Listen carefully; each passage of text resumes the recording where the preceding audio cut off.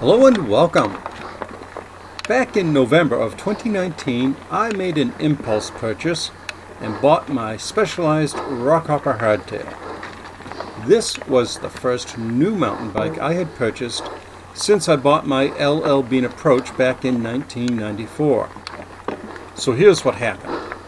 I was at my local bike shop to order a new wheel for one of my road bikes when this kiwi acid green bike over in the back corner caught my eye. Long story short, I got a mile down the road, turned around at the hardware store, went back to the bike shop and bought the bike.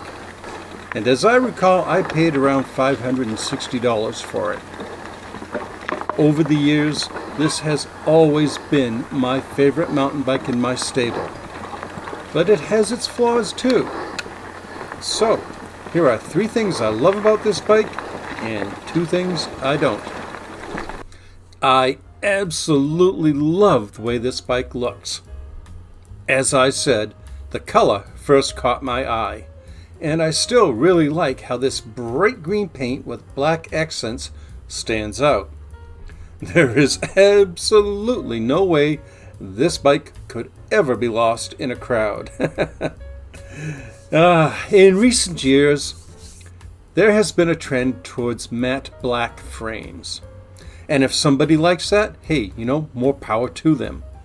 But to me, that always looks like the builder got as far as the primer stage and stopped painting. On the other hand, my bike's glossy, super bright green is on the opposite end of that spectrum, which I truly enjoy. Another aspect of the bike's appearance I love is its shape. The frame's length, proportions, and head tube angle all look a little bit swoopy to me, and the 29 inch wheels and tires give it a bit of an aggressive appearance. It's a combined look that comes together quite well, in my opinion. I love how easy it is to upgrade this bike. When I bought it, it was a 3x8 with Shimano rapid fire combo shifters, a rigid seat post, cable operated disc brakes, a sealed square taper bottom bracket, and an SR Suntour XCT spring fork. To be clear, this was fairly typical for entry level hardtails at the time, and in many cases still is. Further, there was nothing wrong with that setup, and I ran it that way for a full season, loving every moment on the trails.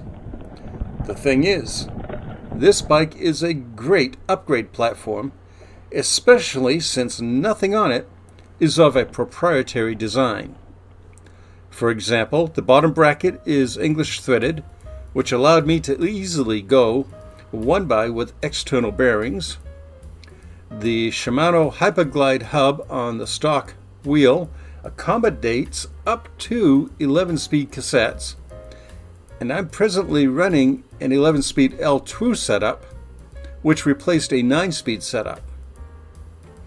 I've swapped in a couple different wider handlebars a shorter stem, a couple of different dropper posts, Tektro hydraulic brakes, and a RockShox Judy Silver TK air fork. These were all possible because the Rockhopper uses standard sizing for its components. I didn't have to go out of my way to find things that fit. I love how this bike handles on trails. Seriously, this bike is a total joy to ride.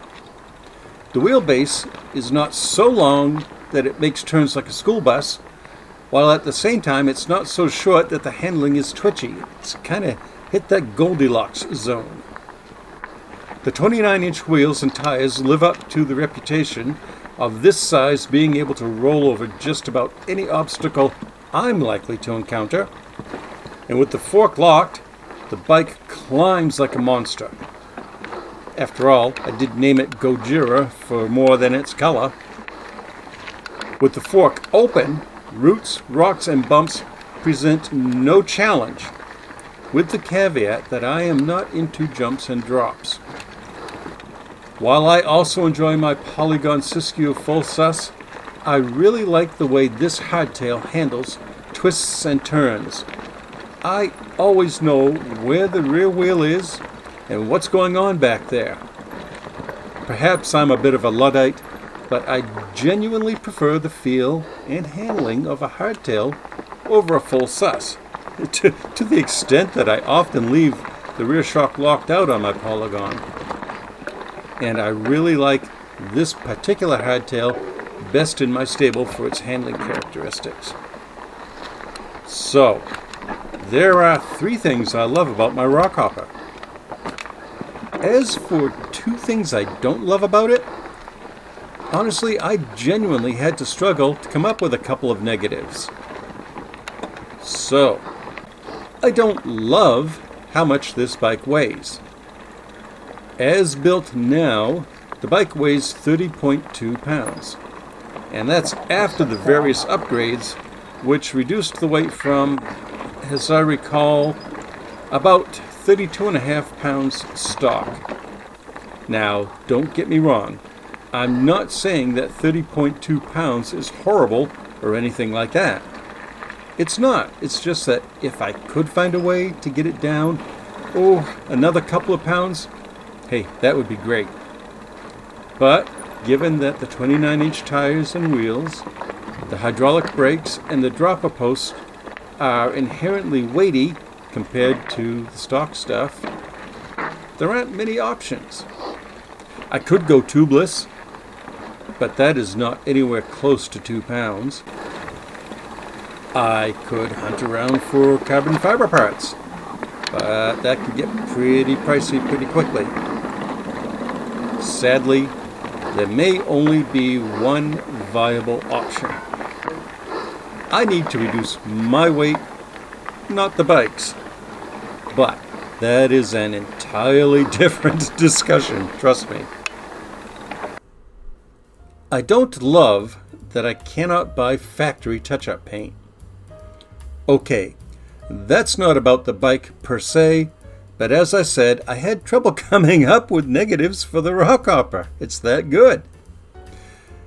It is a little annoying that I can't go to the specialized website and buy touch-up paint for the bike like I can for my Trek Domane. The Rockhopper has accrued a few chips and scratches and has some significant chainstay paint damage from the original 3x crankset. I've searched all the local automotive shops for touch-up paint, but nothing comes close. There are other brands available online, like Yeti, as well as mix-it-yourself kits. None of them really looked right or feasible to me, and I think that a mismatched touch-up would look far worse than a scratch. to be clear, I'm not too wound up about paint imperfections. I mean, I have a pair of vintage Ritchey mountain bikes, both of which got clear coated, warts and all. The Rockhopper really is my favorite mountain bike in my stable, as I said. Considering that I still have my 1994 approach, I'm pretty confident that in the absence of catastrophic damage, I'll be riding this bike for a long, long time to come. In fact, the only improvement I can think of now would be if it were bright red. If you want to learn more about the Rockhopper, there's a link to a video lower left where I went over most of the upgrades which I've mentioned here prior to the LTWOO group set. There is also a link to a video lower right concerning the installation of that LTWOO group set. And as always, thank you so much for watching. I really do appreciate that. Goodbye and have a wonderful day.